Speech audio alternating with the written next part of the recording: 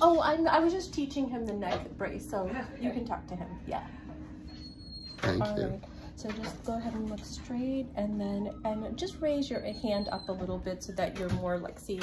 Okay. Oh, so this can kind of like. You're good at um, selfies. Oh, I don't take selfies. Okay, so um, so basically the back part, um, these little circle things kind of sit at the base of your of your head Okay. there, and then um, this part right here is just kind of goes just to the back. Uh-huh. Okay, and then this just goes and fits your chin in it, and then you basically just use the Velcro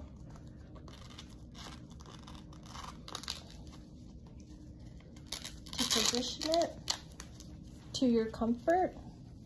And then this part right here, uh, you push this out, and when you turn it to your right, uh, right, but to your left, So it you- raises it. So you pull it out. pull you and pull it turn. out and turn.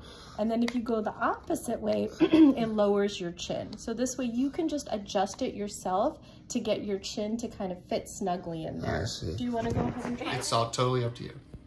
All right. So there you go, and that's fine. So I'm gonna my go. grenade so, bodily so basically, what I'm gonna do is I'm gonna take off your uh, collar, Uh-huh. and while I'm doing that, I, don't want you to be moving your head around. Okay? Are you in a comfortable position Yes. right now? And then after I take out this drain, I need you to to be in bed for at least like um, 15, 20 minutes or so. Do you No need to use the bathroom or do anything before? No. Okay, I'm gonna take this off.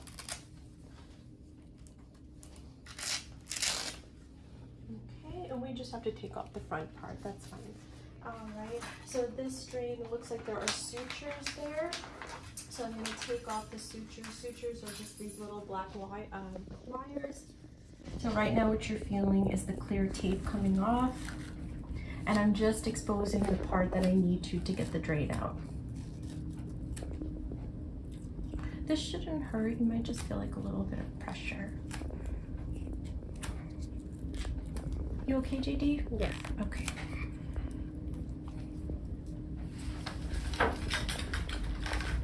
I'm just cutting that uh, clear tape.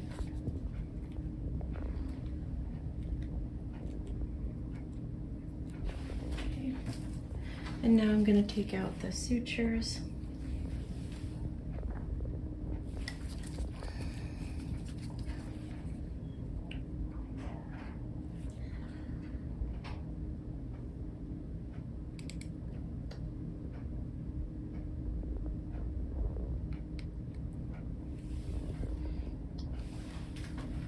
Sometimes I tie it really, really tightly, so um, it's like hard to get it. I just don't want to like. I want to make sure I don't get your skin. It's all right. They cut my skin already. Okay, I'm gonna use the tweezers to get rid of the suture. I actually usually take out my own stitches. You do? Yeah, Okay. I'm not suggesting it for today.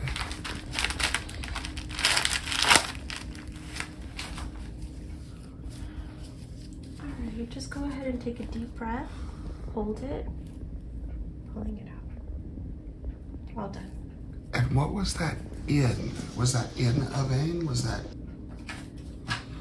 JD said that it was unusual that people asked for this to be filmed. Yes. Rare.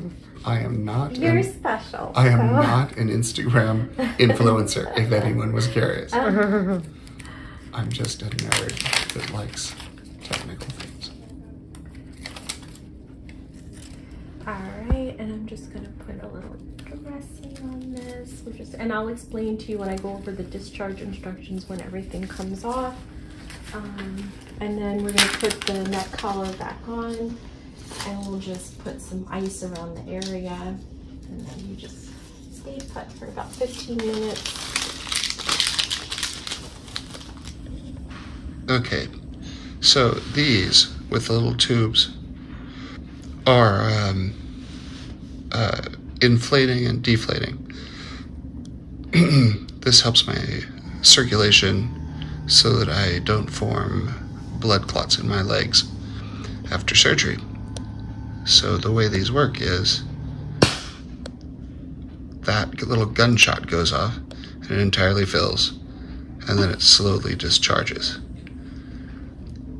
The time between the gunshots is maybe about 45 seconds, which, if you're really, really tired from anesthesia, is just the perfect time that you're almost asleep.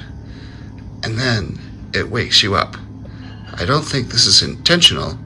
This is like some sort of torture from Guantanamo Bay to keep you awake all night long.